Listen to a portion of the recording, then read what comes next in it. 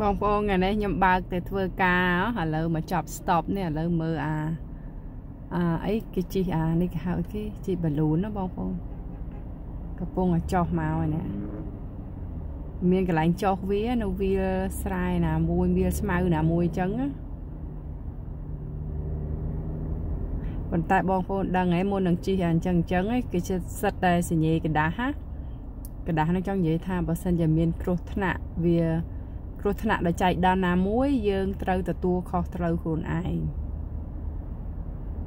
អូខេបងប្អូនគ្រាន់តែចង់ថតបង្ហាញបងប្អូនតិចតួចទេអូខេអរគុណជម្រាបលា